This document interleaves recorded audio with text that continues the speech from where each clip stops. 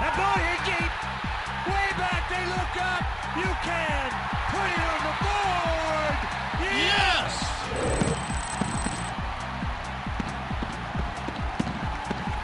Three-run bomb by Carlos Quentin, and the Sox lead it 10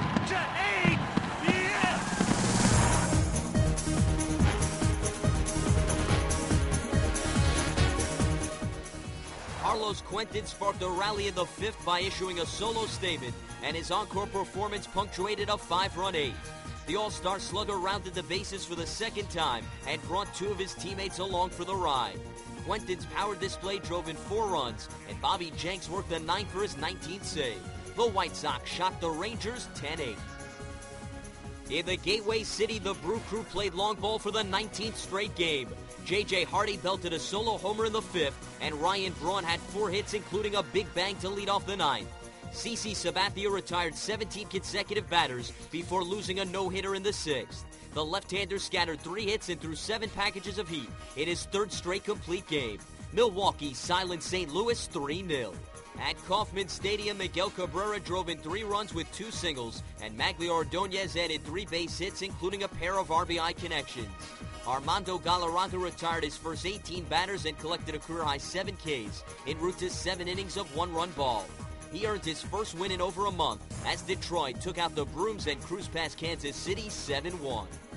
At Great American Ballpark, Greg Maddux left in the sixth with a lead, and by the time he reached the clubhouse, his winless streak extended to 14 starts. Edwin Encarnacion greeted Cla Meredith with a go-ahead two-run blast, and Adam Dunn cleaned house in the seventh by issuing a grand statement. The Reds rallied past the Padres 9-5. In Tampa, the A's rubbed their bellies in the second, and the Rays returned the favor in the fifth.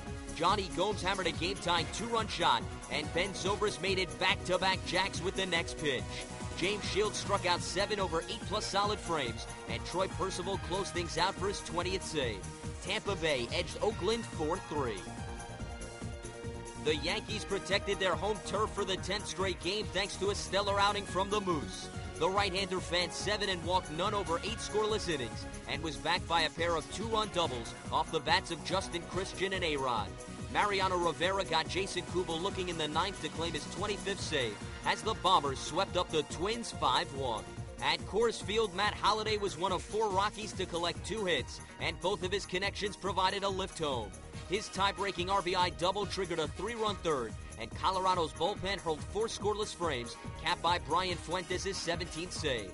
The Rockies topped the Dodgers 5-3. In Anaheim, Jeff Mathis broke things open in the fifth by feasting on his first career grand salami, and added a two-run double in the sixth to tally a career-high six ribbies. Mathis and Howie Kendrick each had four hits, and Casey Kotchman connected safely a career best five times. K-Rod recorded the final out for his 42nd save as Los Angeles outslugged Cleveland 14-11. At Minute Maid Park, Doug Mientkiewicz went 4 for 4 at the plate and came through with a tie-breaking RBI single in the seventh. Freddie Sanchez, Xavier Nady, and Adam LaRoche added two hits apiece, and Damaso Marte pitched a hitless ninth for his fifth save. The Pirates completed their first road sweep of the season by holding off the Astros 8-7. The Red Sox also solved their road woes thanks to the Mariners' fielding woes. Willie Bloomquist's error in the 12th loaded the bases for Mike Lowell, and he took advantage by ripping a two-run single. Boston's bullpen threw six plus scoreless innings, and Craig Hansen escaped the bases loaded jam to grab his second save. The Red Sox doubled up the M's 6-3 in extras. At Shea, Jose Reyes launched a tie-breaking three-run drive in the sixth to help John Maine pick up his first win in nearly a month. Scott Schoeneweis and Joe Smith tossed a scoreless eighth, and Billy Wagner pitched a 1-2-3 ninth for his 25th save. New York bounced back and downed Philly 6-3. In Miami, Tim Hudson scattered three hits and posted six rows of zeros before leaving with tightness in his right elbow. Gregor Blanco and Yunel Escobar handed him a W by combining for six hits and six RBIs. The Braves cooked the fish 9-4. At Chase Field, Alfonso Soriano returned from the DL and drove home the go-ahead run in the fifth with an infield grounder. Reed Johnson had three hits, including a fan-assisted grand slam that punctuated a six-run eighth. He fell a triple short of the cycle and helped Ted Lilly earn his 10th win. The D-backs fell to the Cubs 10-6. In the Bay Area, Rich Aurilia lined a go-ahead two-run double in the eighth, and Omar Vizquel tacked on insurance with an RBI double for one of his three hits. Brian Wilson survived a shaky ninth for his 27th save as San Francisco downed Washington 6-4. At Camden Yards, Lyle Overbay untied a single knot in the sixth with an RBI connection up the middle, and then the heavens opened.